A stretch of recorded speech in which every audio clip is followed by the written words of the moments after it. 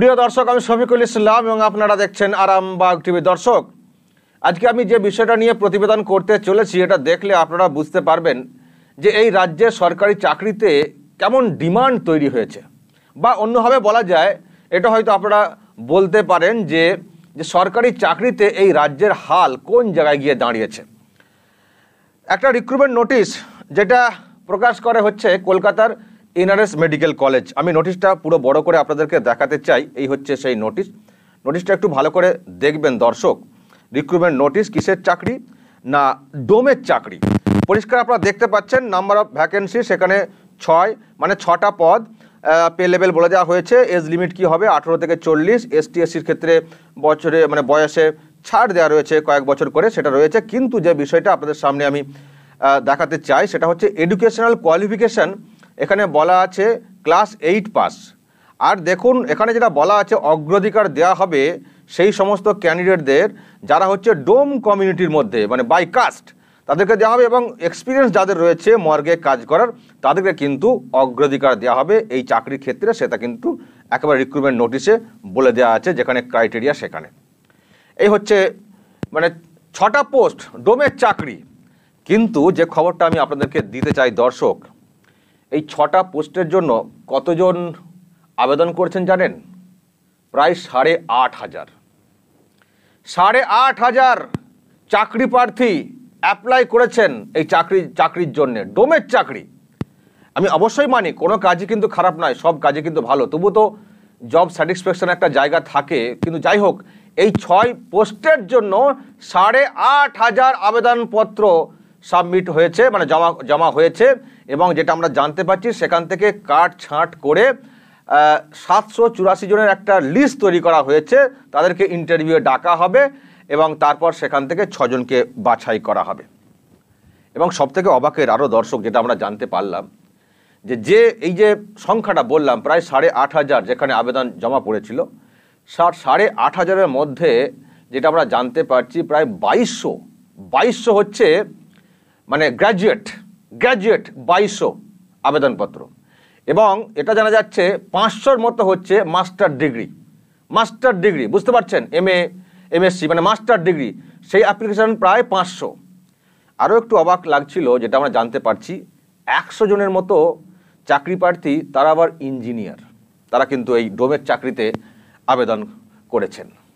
এবং সব মিলিয়ে যেটা দর্শক আমরা যেটা বলছি যে সাতশো চুরাশি জনের একটা লিস্ট তৈরি করা হয়েছে, এবং এটাও আমরা জানতে পারছি যে এই সাতশো চুরাশি জনের মধ্যে চুরাশি জনকে আবার মানে সিলেক্ট করা হয়েছে, তারা হচ্ছে মহিলা। মানে মহিলারাও এই ডোমের চাকরির জন্য আবেদন করেছেন। সুতরাং লম্বা একটা লিস্ট মানে এত কাটছাঁট করেও তাও সাতশো চুরাশি, এটাও লম্বা লিস্ট এবং সেখানে চুরাশি জন মহিলা রয়েছেন। আমি শুধু লিস্টটা আপনাদেরকে একটু দেখাতে চাই, দর্শক। আমি লিস্টটা আপনাদেরকে একটু দেখাতে চাই, দেখলে আর একটা বার্তা আপনারা পেতে পারেন। আর একটা বার্তা আপনারা পেতে পারেন সেটা হচ্ছে যে একটু ভালো করে দেখবেন দর্শক, যে এখানে যারা অ্যাপ্লাই করেছেন, তাদের টাইটেলটার দিকে একটু নজর রাখবেন। আমি একেবারে তাদের আইডি নাম্বার দেওয়া রয়েছে, সেটা আমি আপনাদেরকে দেখাচ্ছি না, একবারে আইডেন্টিটি ডিসক্লোজ করতে চাইছি না। আমি জাস্ট রিয়েলিটি বোঝানোর জন্য আমি সাতশো চুরাশির যে ক্যান্ডিডেট যে মানে সিলেক্টেড যাদেরকে সিলেক্ট করা হয়েছে ইন্টারভিউয়ের জন্য, এক তারিখে পয়লা আগস্ট যাদের ইন্টারভিউয়ের জন্য ডাকা হয়েছে, সেই লিস্টটা কিন্তু আরামবাগ টিভির কাছে রয়েছে, সেটা আপনাদেরকে দেখাচ্ছি দর্শক একটু ভালো করে দেখবেন। বীর্য মল্লিক রাহুল কাসেরা বিশম্বর সরকার, হাজরা, মল্লিক, সূত্রধার ভট্টাচার্য, ব্যানার্জি, তামাং, দুলে বিশ্বাস, মণ্ডল পাল, মুখার্জি, মল্লিক, মাইতি, হালদার মল্লিক, মণ্ডল শেখ নৌসাদ আলী, সরকার, শিকদার। আমি টাইটেলগুলো বলছি, নিশ্চয়ই আপনারা ফিল করতে পারছেন কেন আমি কথাগুলো বলছি। চক্রবর্তী, দেবনাথ মল্লিক, দাস ঘোষ, সাউ চ্যাটার্জি, মাইতি, দানা, রাম, কর্মকার, হালদার, ডোম দাস পাত্র, শেখ জাহাঙ্গীর রয় রয় রয়েছে, সাহা রয়েছে, মল্লিক রয়েছে, রাউত ঘোষ মোহাম্মদ ওবায়দুল মোল্লা, মল্লিক দত্ত, শর্মা, মণ্ডল ইত্যাদি। আমি আর পড়ছি না, প্রায় আমি, আমার কাছে পুরো লিস্ট রয়েছে দর্শক, পুরো লিস্ট আমি একদম স্ক্রল করে আপনাদেরকে দেখিয়ে দিচ্ছি। এবার লাস্টের দেখুন, সাতশো চুরাশি যেটা আমি বলছিলাম, যে শর্ট লিস্ট করার হয়েছে, সেই সাতশো চুরাশিজের জনের একবার লিস্ট সেটা কিন্তু আমি আপনাদেরকে জাস্ট দেখালাম। মানে সবাই রয়েছেন এই লিস্টে মানে ব্যানার্জি, চ্যাটার্জি সরকার, ঘোষ, রায়, সবাই। কিন্তু আমরা দেখতাম যে একটা সময় এই চাকরির ক্ষেত্রে যারা মানে অ্যাপ্লাই করতেন বা যারা এই মানে এই পদে রয়েছেন, তাদের টাইটেল তো আমরা জানি, কী ধরনের টাইটেল হয়ে থাকে। আসলে আমি এটা বলছি, বলতে চাইছি দর্শক, কোনো কাজই কিন্তু ছোট নয়। এটা নিয়ে কোনো আমার দ্বিমত নেই, যারাই যে কাজ করুন না কেন, সব কাজকেই সমানভাবে গুরুত্ব দেওয়া উচিত, সবাইকে সম্মান দেওয়া উচিত, সেটা প্রশ্ন নয়। প্রশ্ন হচ্ছে, এটা আমরা, আমি ভাবছি, দেখে একটু অবাক হয়েছি যে সত্যিই যে মানে চাকরির এই রাজ্যের কোন জায়গায় গিয়ে দাঁড়িয়েছে যে এই ধরনের যারা ইঞ্জিনিয়ার যারা মাস্টার ডিগ্রি করেছেন গ্র্যাজুয়েট তারাও কিন্তু আবেদন করেছেন, মহিলারাও আবেদন করেছেন, অথচ ক্রাইটেরিয়াতে বলা আছে মাত্র এইট পাস হলেই হবে এইট পাস হলেই হবে। সেখানে যাদের হয়তো ওখানে অগ্রাধিকারের কথা বলা আছে ডোম কমিউনিটি বা কাজের অভিজ্ঞতা রয়েছে, এইসব ব্যাপারে যখন বলা হয়েছে সেই সবে এটা যারা জানতে পারছি, অনেকেই কিন্তু অ্যাপ্লাই করেছে, তাদের কিন্তু কেউ ডোম কমিউনিটির মধ্যেও নন, আর কেউ কারোর এত অভিজ্ঞতাও নেই। তার সাথে তারা কিন্তু আবেদন করেছেন। যদি একটা পাওয়া যায় চান্স যদি একটা চান্স পাওয়া যায় ছজনের মধ্যে যদি ঢোকা যায়, প্রশ্ন দর্শক, আপনারা এটাকে কীভাবে ব্যাখ্যা করবেন? যে সত্যিই আমাদের যে কোনো পোস্টে চাকরি ক্ষেত্রে খুব কোয়ালিফাইড লোকজন আসছে, এটা খুব বাঙালির কাছে গর্বের যে যে কোনো কাজের ক্ষেত্রে এত কম্পিটিশান খুব হাইলি কোয়ালিফাইড লোকজন অ্যাপ্লাই করছেন, এই আঙ্গিকে ব্যাখ্যা করবেন? নাকি বলবেন যে চাকরির যা হাল চাকরির যা হাল এইট পাসের যেখানে ক্রাইটেরিয়া সেখানেও মাস্টার ডিগ্রি ইঞ্জিনিয়ার তারাও সেখানে অ্যাপ্লাই করছেন। তার মানে আমাদের রাজ্যে সরকারি চাকরির ক্ষেত্রে কি অবস্থা? যে রাজ্যের কি অবস্থা? এত কোয়ালিফাইড একেবারে ছেলে মেয়ে রয়েছেন, চাকরি প্রার্থী রয়েছেন, আর তাদেরকে অ্যাপ্লাই করতে হচ্ছে এইট পাস যারা যেখানে ক্রাইটেরিয়া বলা হয়েছে মিনিমাম সেখানে তাদের সঙ্গে প্রতিযোগিতাতে অংশগ্রহণ করতে হচ্ছে, সেখানে তাদেরকে যেতে হচ্ছে। এই তো আমাদের রাজ্যের হাল।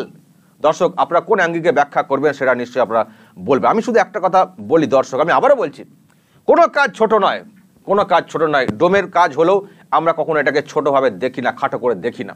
কিন্তু যাদের অগ্রাধিকার দেওয়ার কথা, সেখানে যা কম্পিটিশান তৈরি হচ্ছে, প্রতিযোগিতা তৈরি হচ্ছে, তাদের ক্ষেত্রে তো অসুবিধা হবে। কিন্তু দর্শক, আমরা যতই বলি কোনো কাজ ছোট নয়, কিন্তু জব স্যাটিসফ্যাকশান বলে একটা বিষয় থাকে থাকে। দেখবেন, আপনারাও অনেক কাজ করেন, কিন্তু করার ইচ্ছে নেই ঠিক মনটা চাই না, কিন্তু কিছু করার নেই, কিছু একটা করতে হবে তাহলে পেট চলবে না, পরিবারকে আমি দেখতে পারব না, এই জন্য আপনারা করেন।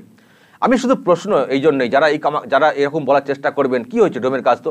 তাহলে আমার কাছে প্রশ্ন একটাই, যিনি ইঞ্জিনিয়ারিং নিয়ে পড়াশোনা পড়াশোনা করেছেন, তিনি কি এই পোস্টে চাকরির জন্য পড়াশোনাটা করেছেন?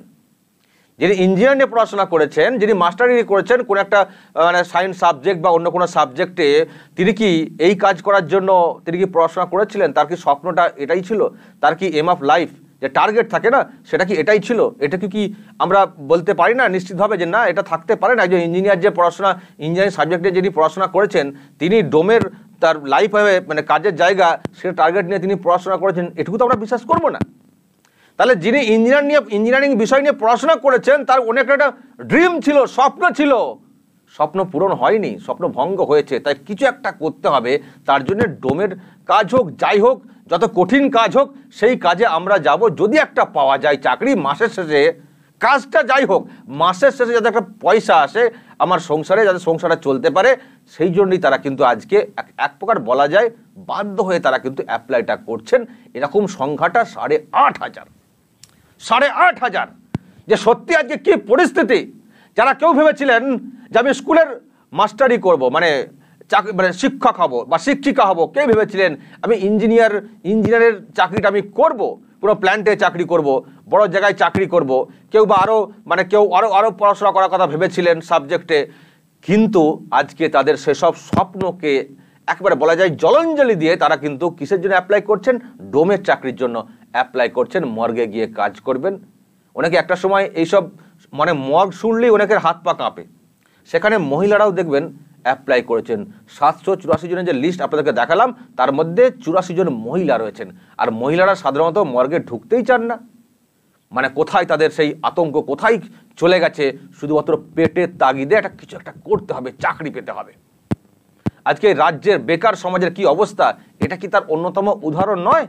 ছটি ডোমের পোস্টে চাকরির জন্য সাড়ে আট হাজার অ্যাপ্লিকেশান সেখানে মাস্টার ডিগ্রি গ্র্যাজুয়েট রয়েছেন ইঞ্জিনিয়ার রয়েছেন, মহিলারা রয়েছেন।